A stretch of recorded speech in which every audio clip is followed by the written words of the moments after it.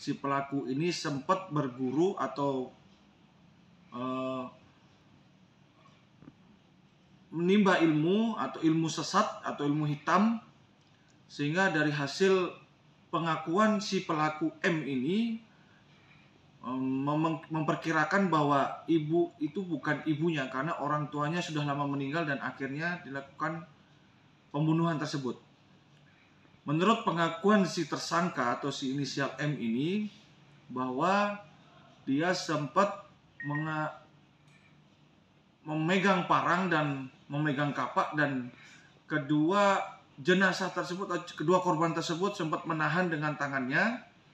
Bahkan pada saat itu sempat merebut e, senjata kapak dan parang tersebut. Namun karena e, kedua korban tersebut perempuan jadi tenaga si pelaku ini lebih besar dan sampai akhirnya robek di bagian leher kedua belah korban tersebut kedua pihak korban akhirnya meninggal dunia Pengakuan si tersangka juga mengatakan bahwa dia sempat e, membawa jenazah tersebut dikumpulkan di ruang tamu.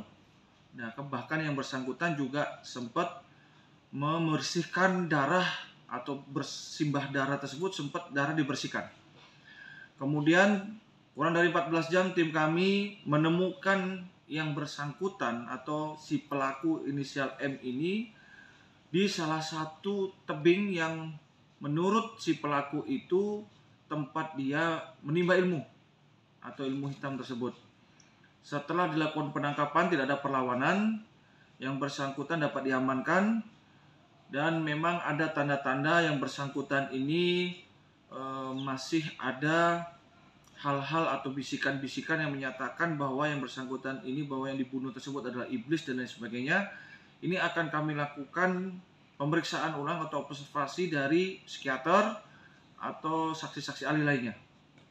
Untuk tersangka bang, dijerat dengan pasal berapa? Yang bersangkutan dijerat dengan pasalnya ini ketemu. Tersangka dikenakan pasal 338 KUHP dengan ancaman hukuman maksimal 15 tahun penjara. Adapun barang bukti yang diamankan berupa satu buah kapak, satu buah parang, dan baju yang dikenakan oleh si pelaku inisial M. Terima kasih sudah nonton. Jangan lupa like, subscribe, dan share ya. Thank you.